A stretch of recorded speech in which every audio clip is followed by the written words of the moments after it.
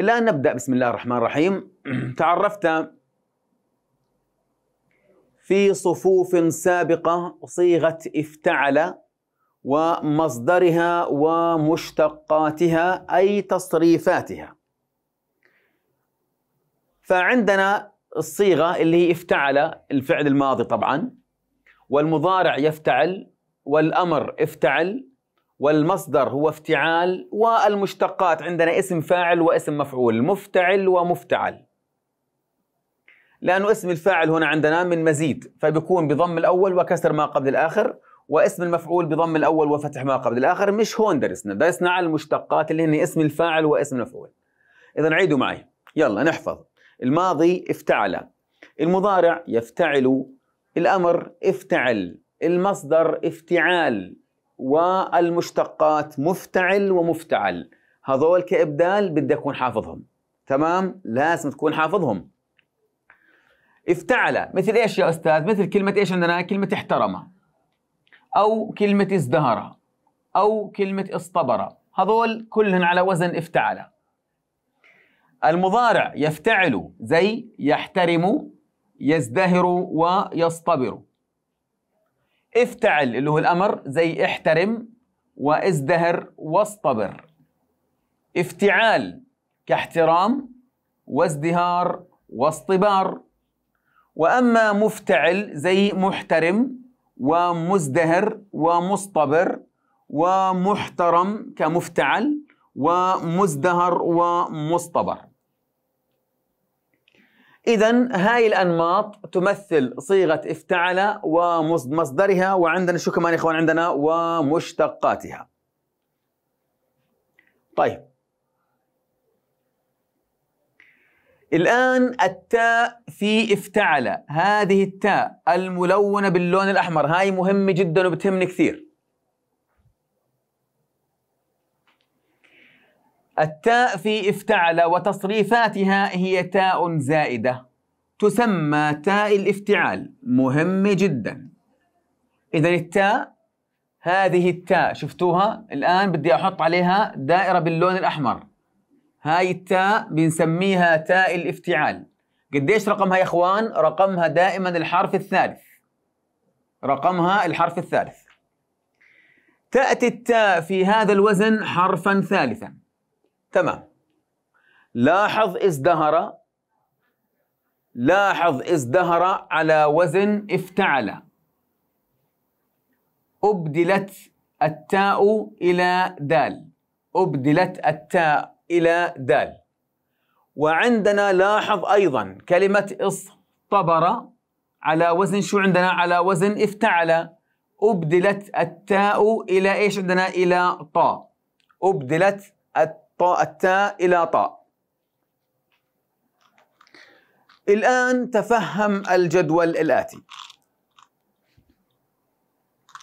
الذي يضم افتعل ومصدرها ومضارعها وأمرها ومشتقاتها. هذا كله مدخل للوحدة. الآن بالتفصيل الوحدة راح تفهموا أكثر. وراح أفصل أكثر. بس الآن بهمني أركز على افتعل يفتعل افتعال بحيث إنه لساني ياخذ على الكلمة. الفعل افتعل الماضي. المضارع يفتعل. الأمر افتعل. المصدر افتعال.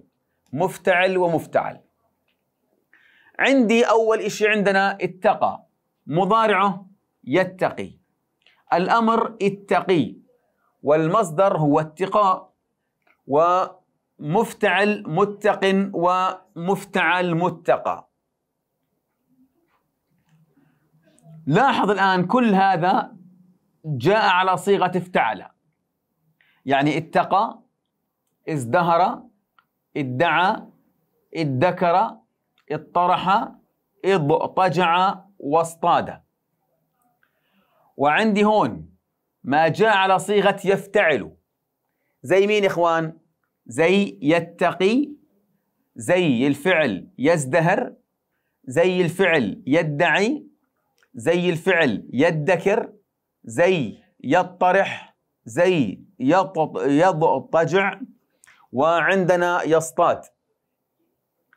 أما الأمر على صيغة افتعل فعل أمر مبني على السكون. اتقي ازدهر ادعي ادكر اضطرح اضطجع واصطد. ما جاء على صيغة افتعال اتقاء ازدهار ادعاء ادكار اضطراح واضطجاع واصطياد. وعندنا ما جاء على صيغة إيش عندنا؟ مشتقات افتعل اللي هي اسم الفاعل واسم المفعول. متق ومزدهر ومدع ومدكر ومطرح ومضطجع ومسطات مفتعل متقى ومزدهر ومدعى ومدكر ومطرح ومضطجع ومسطات إذا آه، ما ترون أمام أعينكم هي الحالات التي سيحدث فيها الإبدال والكلمات التي سنعالج فيها الإبدال. فأول ما سنعالج هذا السطر. اللي هو سطر اتقى اللي هو آه، بالأسود والأبيض. أما المجموعة الثانية فهذه المجموعة الثانية اللي هي ذات آه، القاعدة الصفراء واللون الأسود. وأما الأخيرة فهي ذات القاعدة البيضاء واللي هو اللون الأسود الكلمات. بهذه المجموعات. إذا إحنا راح نعالج بالإبدال ثلاث مجموعات. المجموعة ألف المجموعة باء بتضم عندي ثلاث محاور بتضم ثلاث محاور هيها. والمجموعة عندنا جيم بتضم المحاور هذا وهذا وهذا. وهاي الكلمات إن شاء الله سنأتيها بالتفصيل في درس اللي هو الإبدال وفي عرض اللي هو حالات الإبدال. إذا بهمني من هذا الجدول إنه لساني يتعود على افتعل يفتعل مفتعل افتعال إلى آخره. توضيح مهم جدا. الإبدال بيشتغل على صيغة افتعل بيشتغل على صيغة افتعل ومضارعها يفتعل وأمرها افتعل ومصدرها افتعال ومشتقاتها مفتعل ومفتعل. هذول بدك تحفظ لي إياهم زي اسمك. عيد معي. افتعل يفتعل افتعل افتعال مفتعل ومفتعل. كل الدرس بيشتغل على الصيغة هاي. عندي الميزان الصرفي. لاحظ عندي كلمة افتعل. هيها. اقرأوها بهذا بهذا بهذا الوزن أو بهذا الاتجاه. عندي افتعل. جيد. الفاء هذه زي كلمة طبعا ازدهر. الفاء وعندي التاء وعندي العين وعندي اللام وعندي همزة الوصل هذه. مثل مين يا أستاذ كلمة؟ زي كلمة ازدهر. زي كلمة شو عندنا؟ إيش؟ ازدهر. حرف الزين هذا بنسميه فاء الكلمة. والدال هذه اللي جاءت مقابل إيش عندنا؟ مقابل تاء الافتعال. فتاء الافتعال زي ما إحنا شايفين رقمها إيش عندنا؟ رقمها ثلاث.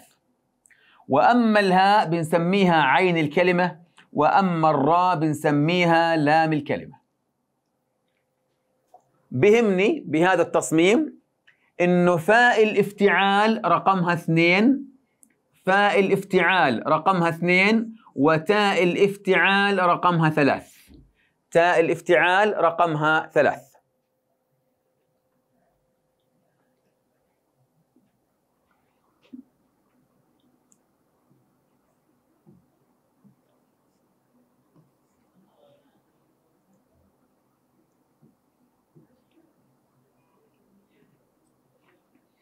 كلنا بنعرف الميزان الصرفي. الميزان الصرفي يقوم على ثلاث حروف يا إخوان اللي هن الفاء والعين واللام. فلو بدي آخذ مجرد كلمة ازدهر راح يكون مجردها زهرة زهرة حرف الزين بنسميه فاء الكلمة. حرف الهاء بنسميه عين الكلمة. وحرف الراء بنسميه لام الكلمة. بنسميه لام اللي هو عندنا إيش اللي هو الكلمة؟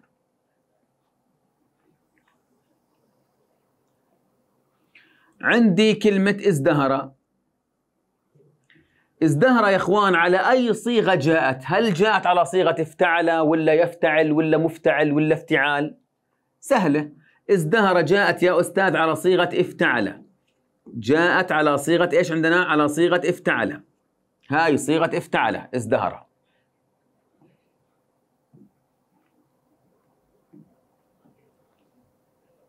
طيب ازدهر. الآن لو قلت لك الآن وين فاء الكلمة؟ وين عين الكلمة؟ وين لام الكلمة؟ أكيد راح تقول لي إنه عندنا حرف الزين هو فاء الكلمة بنحطه هون. وعندي الهاء مقابل العين زها وعندنا هون زهرة. ممتاز. هذول حروف اللي هن إيش سميناهن؟ حروف المجرد حروف المجرد. الآن بدنا نغير اللون للأزرق وننزل الحرفين اللي هن الألف والتاء. الألف والتاء. فيا إخوان الله يرضى عليكم. كلمة ازدهر في اللغة العربية أصلها. شوف شو أصلها؟ أصلها ازدهر أصل الكلمة ازدهر يعني بدل ما أقول أنا ازدهرت الشجرة الأصل أقول ازدهرت الشجرة. بس لكن هناك صعوبة في النطق. ازتهرت صعب كثير. حاول الفظها ازتهر يزتهر. مزتهر. إزتهار. صعب كثير. لذلك لغويا اللي صار يا إخوان الله يرضى عليكم أبنائي وبناتي إنه هذه التاء اللي هي بنسميها تاء الافتعال هذه التاء أبدلت إلى دال أبدلت إلى دال. فالكلمة النهائية رجعت إيش عندنا؟ إز دهر. شو صارت عندنا إيش؟ ازدهر اذا اللي صار هون يا إخوان هذا هو الإبدال. إنه هذه التاء اللي هي تاء الافتعال اللي رقمها ثلاثة أبدلت إلى مين؟ إلى دال. ليش أبدلت إلى دال يا أستاذ؟ تحقيقا للتجانس الصوتي. ولسهولة النطق تحقيقا للتجانس الصوتي ولسهولة النطق. اذا هذا مبدأ اللي هو عندنا آه، اللي هو اللي هو الإبدال. وإن شاء الله راح نفهمكم هاي الطريقة آه، رويدا رويدا إن شاء الله. اذا إحنا الآن بهاي الصفحة بدي منك بس نتعلم افتعل يفتعل افتعال مفتعل وإنه الإبدال لا يكون إلا في صيغة إيش عندنا؟ في صيغة افتعل ومصدرها ومشتقاتها. الآن أبنائي وبناتي نأتي إلى القاعدة الأولى من قواعد الإبدال. تقول هذه القاعدة إذا كانت فاء افتعل واوا تبدل الواو تاء ثم تدغم في تاء الافتعال. إذا كانت فاء افتعل واوا تبدل الواو تاء ثم تدغم في تاء الافتعال. ومنه قوله تعالى فأما من أعطى واتقى وصدق بالحسنى فسنيسره لليسرى. الآن أنا وياكم مع بعض نقرأ هذا الكلام بمثابة تحضير كويس وبعدها إن شاء الله بفصل لكم إياه بصفحة جديدة ونكتبها بخط اليد إن شاء الله أمام أعينكم وكيف بدي أساوي وكيف بدي أتصرف. الآن بدنا نسلط الضوء أنا وياكم على كلمة إيش عندنا؟ على كلمة اتقى. بدنا نسلط الضوء على كلمة اتقى اللي هي صار فيها الإبدال. شرح القاعدة الأولى بالتفصيل. تأمل الفعل اتقى في المثال الأول. تجده على وزن افتعل. وهذا الفعل باللغة العربية أصله إوتقى أصله إوتقى الآن اوتقى لو سألتك شو المجرد الثلاثي للكلمة؟ شو المجرد الثلاثي للكلمة؟ هي. وقى. هاي الواو وهاي القاف وهاي الألف. بنحط فوقيها الفاء والعين واللام. تمام؟ فأبدلت الواو تاء. هذه الواو. هذه الواو أبدلت إلى مين يا أخوان؟ إلى تاء. لتحقيق التجانس الصوتي مع تاء الافتعال ولتيسير عملية النطق. إذا اللي صار بالكلمة هاي إنه هذه الواو أبدلت إلى مين؟ إلى تاء. وما ننسى إنه أنا عندي تاء ثاني اللي هي رقمها ثلاث هيها اللي هي اسمها تاء الافتعال. هاي اسمها تاء الافتعال وهيها. تاء. فعندي صار تاء زائد تاء ويساوي تاء مشددة. ولأن اجتماع حرفين متماثلين حرفين متماثلين اللي هن إيش يا أستاذ؟ اللي هن التاء اللي هي والتاء الثانية. التاء الثانية اللي هي تاء الافتعال. أما التاء الأولى فهي الواو التي أبدلت إلى تاء. ولأن اجتماع متماثلين يؤدي إلى شيء من الثقل على اللسان. فاتقى أصل اللفظ هيك بهاي الصورة اتقى. يعني بدي أقول لك اتق الله لازم أقول لك اتق الله. اتق الله صعب كثير. بالأصل لازم أقول لك اوتق الله. بعدين الخطوة الثانية الواو أبدلت إلى تاء فصار عندنا اتق الله. فالتاء والتاء بنسميهن متماثلين متماثلين يعني بالنطق متماثلين بالنطق. فصار بيناتهم إيش يا إخوان عندنا؟ إدغام. ليش يا أستاذ؟ لتحقيق التجانس الصوتي. ولتحقيق ولأن اجتماع حرفين متماثلين. يؤدي إلى شيء من الثقل على اللسان فإن التاءين يدغمان في تاء واحدة لكي يسهل النطق بهما. وهذا الإبدال يحصل, يحصل في مصدر افتعل ومشتقاتها نحو يتقي ومتق ومتقى واتقاء إذ إن فاء افتعل ومصدرها ومشتقاتها جاءت واوا إذا جاءت واوا فإنها تبدل تاء ثم تدغم بمين عندنا؟ تدغم بتاء الافتعال ثم تدغم بتاء اللي هو الافتعال.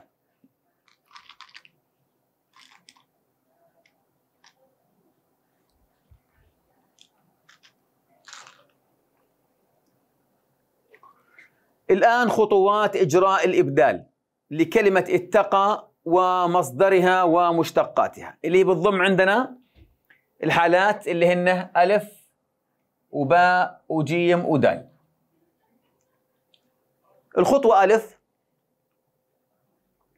نضع أحرف الميزان الصرفي اللي هن أحرف الميزان الصرفي الفاء والعين واللام. هي الفاء والعين واللام.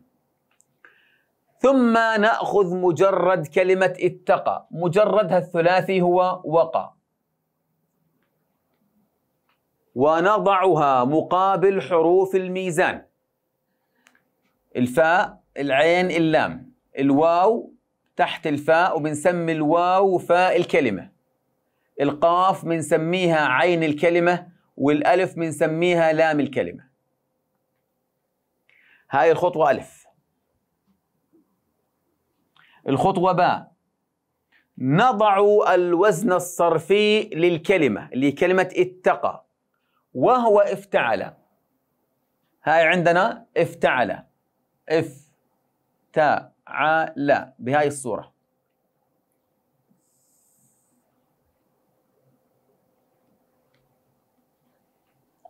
ثم نضع أحرف المجرد اللي هن الوقى مقابل أحرف الميزان. فعل. نضع مقابل الفاء حرف الواو ومقابل العين حرف القاف ومقابل اللام حرف الألف. ظل عندي هون فراغين زي ما أنتم شايفين شفتوهن؟ الآن هذول الفراغين بالخطوة الجديدة بننزلهم زي ما هم. نضع حروف الزيادة اللي هن الألف والتاء في الفراغين وبهذا نكون قد وصلنا إلى أصل الكلمة وهو اوتقى في هذه الخطوة أنت وصلت إلى أصل اللفظ.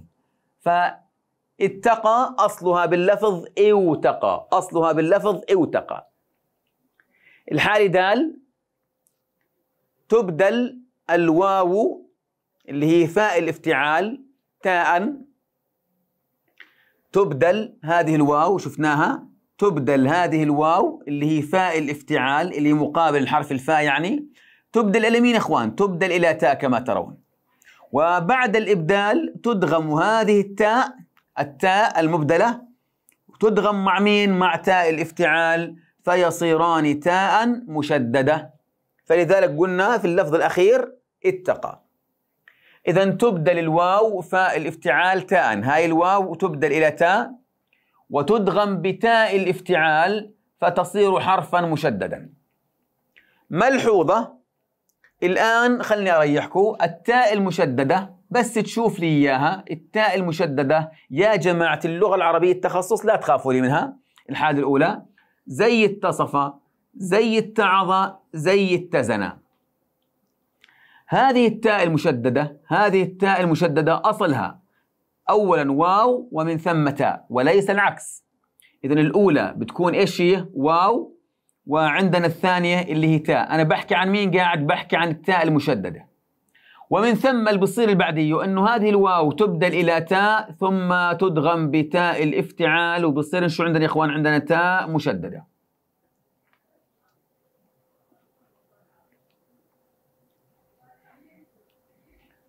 السؤال يأتي بالطريقة الآتية. وضح الإبدال في كلمة اتقى. هذا في زمان يعني لما كانت المادة كتابية كتابية. أما الآن الاسئله ضع دائرة. بس بغنا نقرأ كل هاي الحالات عشان نتعلم منها. هيك كانوا يجاوب الطلاب. اتقى كان يكتب هيك أصلها هاي أول خطوة. أصلها اوتقى طبعا الأصل بنجيبه من الخطوة الثالثة. الأصل بنجيبه من الخطوة الثالثة. هذا هو الأصل. هذا هو الأصل. بدليل المجرد. هاي الخطوة اثنين. هو وقع. الآن نشرح جاءت فاء الافتعال. جاءت فاء افتعل. هاي الفاء. هاي الفاء شو جاءت عندنا؟ إيش؟ حرف الواو. فأبدلت فاء الافتعال تاء. وأدغمت مع التاء الأخرى.